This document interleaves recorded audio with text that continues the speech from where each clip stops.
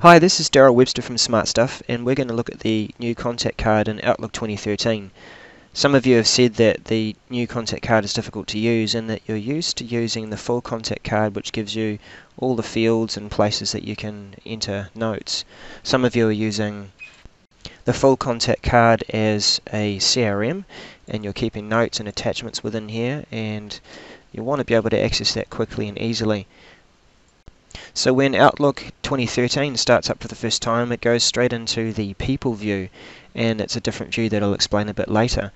Uh, but just to point out that when you have the contact card, sometimes you might have multiple contact cards for the same person. That some of the services will capture other information. So I've got two contact cards here. I've got one for Malcolm and Lync. So Lync has recorded a separate contact card for Malcolm based on uh, the conversations that I've had with him and Lync and I've also got this other card that we've compiled other information for. So the advantage of the people card well there's two things that I'd like to point out about it. One thing is that it brings the information together from multiple sources. So you've seen that I've got two cards there for Malcolm and there's a couple of other places that I'm connected with Malcolm too.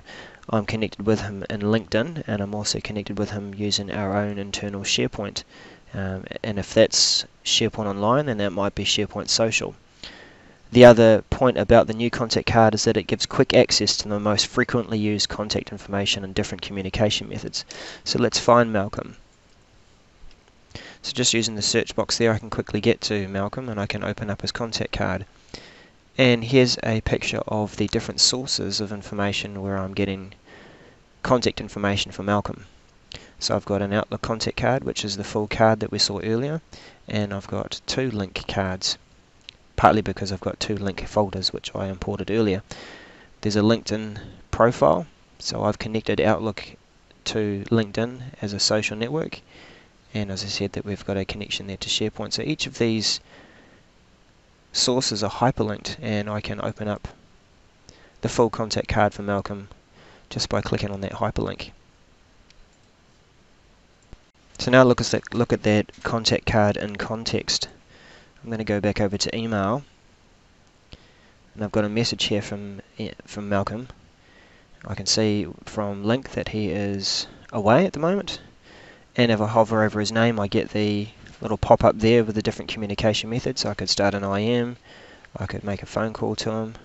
Here at Olympic, we've got um, Lync as our PABX, so I've got the options to call him on his mobile, home, work, etc.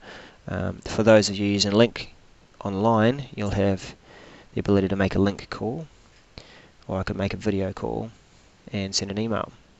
But just to expand that contact card, now I get that full view again of some of the more commonly used information to contact Mal. So I can look up his work number, I could call his work number from clicking on that link. I could start an IM conversation from clicking on that URL there too. I could schedule a meeting.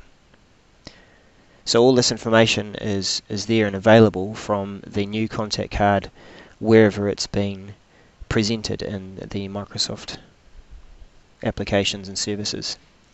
So you'll see the contact card is also available within SharePoint Online. If you hover over a document and you see that Malcolm was the last person to modify it or it's checked out to him, then you'll get this contact card again and you can make a, a quick call or a quick instant message to see if that um, document is available now to be used or something like that.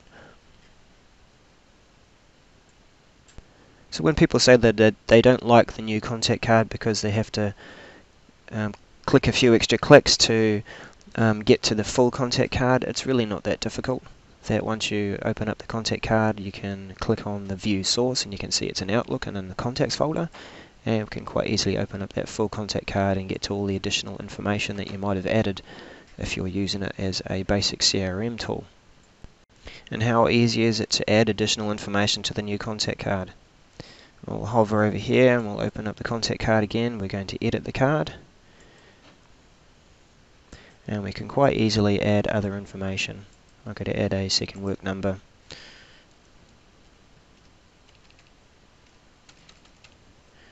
and that's done. Now that's going to be saved into the Outlook contact card. and the source and it's going to be available uh, from the full contact card if I wanted to look it up.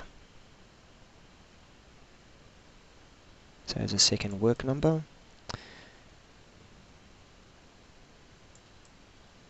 There's the second work number that I just entered.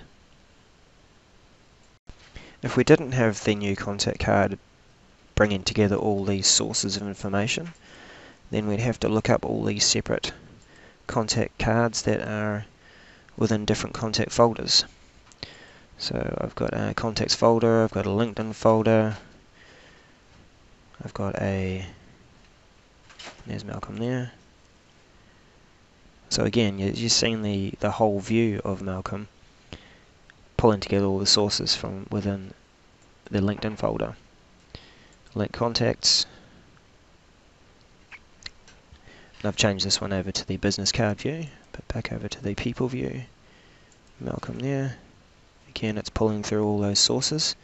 But if I looked at the business card view and found Malcolm,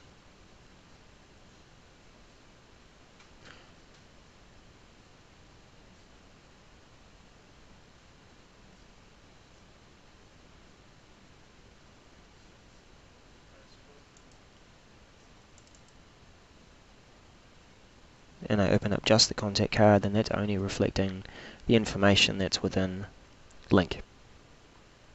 Just the Lync contact card.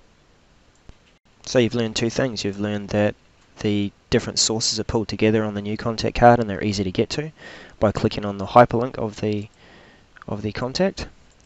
And you've also found that it gives access to the most frequently used information and different contact methods.